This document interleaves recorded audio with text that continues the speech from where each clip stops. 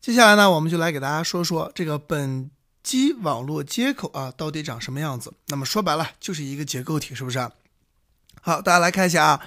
那么这个结构体呢，叫做 sock addr 杠 LL。哎，大家一定要注意啊，sock addr 杠 LL 比较特别，是不是？好，我们把这个呢摘到我们的笔记里面。好，注意啊，这就是我们这个结构体。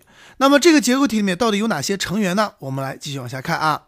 哎，这张图里面呢，给大家列出来了这个结构里面的成员。你看，第一个呢叫做 SLL 杠 Family，那么很明显，跟我们之前讲的什么 SA 杠 Family 是不是应该一样呀？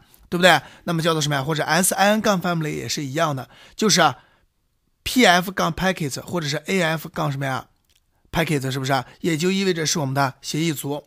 那么第二个呢是 SLL 杠 Protocol，是上层协议。那么这个呢我们就不用管了啊。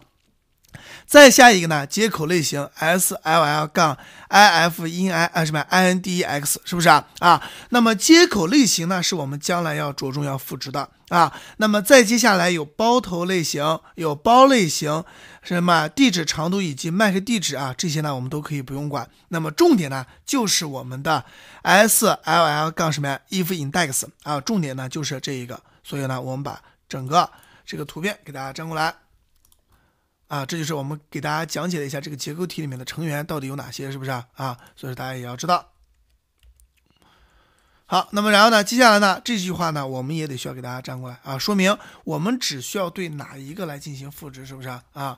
那么具体怎么赋值，这就是我们后面要给大家讲解的内容啊。所以要知道，现在所用的这个结构体呢，跟我们之前的也不一样了啊。之前用的是 SOC ADDR 杠 IN，现在用的是杠 LL。那么知道这一个就够了。